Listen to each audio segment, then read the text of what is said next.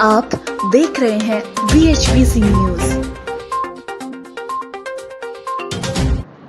नमस्कार, स्वागत है आपका। मेरा नाम है विपिन विभाग। चीन के विकास में रियल एस्टेट इंडस्ट्री का बड़ा हाथ रहा है। दुनिया की सबसे बड़ी अर्थव्यवस्थाओं के लिए रियल एस्टेट इंडस्ट्री एक तरह से विकास का इंजन रही है। चीन की जीडीपी में इसकी हिस्सेदारी 30 फ़ीसदी है। लेकिन इन दिनों एक के बाद एक रियल इस्टेट कंपनियाँ दिवालिया हो रही हैं। इसमें आम लोगों की चिंता बढ़ रही है और चीनी सरकार भी परेशान हो चुकी है। चीन की दो सबसे बड़ी रियल एस्टेट कंपनी कंगाली के मुहाने पर खड़ी है। इसमें से एक एवर ग्रांडे है, जो 2021 में ही कंगाल हो चुकी है। हालाँकि गुरुवार को कंपनी ने न्यूयॉर्क में चैप्टर के 15 के तहत दिवालियापन संरक्षण के लिए आवेदन किया है। इसके ज़रिए कंपनी को अमेरिका में मौजूद अपनी संपत्तियों को सुरक्षित करने का मौका मिलता है। एवरग्रांडे के ऊपर 300 अरब डॉलर का भारी भरकम कर्ज है। चीन में एवरग्रांड के बाद एक और कंपनी दिवालिया होने के कगार पर आ गई है। इसका नाम कंट्री गार्डन है। एक वक्त कंट्री गार्डन कमाई के मामले में चीन का सबसे बड़ा प्रॉपर्टी डेवलपर था। हालाँकि इस कंपनी के ऊपर भी कुछ ही हफ्तों में डिफॉल्टर होने का खतरा बढ़ा है।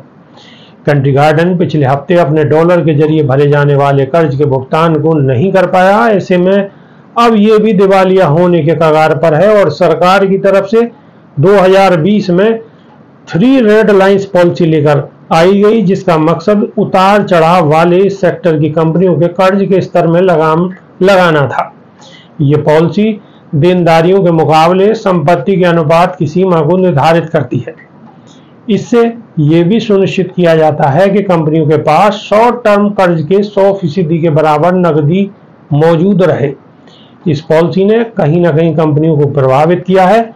पिछले दो साल से चीन का रियल एस्टेट सेक्टर परेशानियों से घिरा हुआ है। लोग नए घरों को खरीदने के इच्छुक नहीं है। इसकी वजह से कीमतें गिर रही हैं, जबकि बेरोजगारी बढ़ रही है। आइए आपको इन पॉइंटों के बारे में बताते हैं। जो कहीं ना कहीं रियल इस्टेट कंपनियों के दिवालियापन होने के पीछे हैं। बढ़ती ब्याज दरें, कर्ज लेने के सख्त नियम, और चीन में मंदी सहित कई वजहों से रियल इस्टेट सेक्टर 2021 से ठंडा पड़ा हुआ है। इससे प्रॉपर्टी डेवलपर्स के लिए घर बेचना और कैश फ्लो को बरकरार रखना मुश्किल हो चुका है। चीन में कई सारे प्रॉपर्टी डेवलपर्स ने कंपनी को बड़ा करने के लिए कर्ज लिया हुआ है, लेकिन अब मार्केट ठंडा है, जिससे उनकी कमाई नहीं हो रही है और इस वजह से रियल इस्टेट कंपनियाँ कर्ज में दबती जा रही हैं। चीनी सरकार रियल इस्टेट सेक्टर में बड़ी मात्रा में कर्ज लेने वाली कंपनियों पर नकेल कस रही है, जिससे कंपनियों के लिए अपने कर्ज को चुकाने के लिए कहीं और से कर्ज लेना मुश्किल हो चुका है, जो उनके दिवालियापन की वजह बन रहा है। चीन में कई सारी कंपनियाँ फर्जीवाड़े में भी लगी हुई हैं उदाहरण के लिए कुछ कंपनियों ने फंड जमा करने के लिए बनकर तैयार नहीं हुए फ्लैट भी बेच दिए हैं।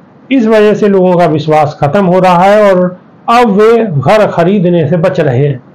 चीनी रियल एस्टेट कंपनियों के दिवालिया होने की वजह से इसका असर अर्थव्यवस्था पर भी पड़ रहा है।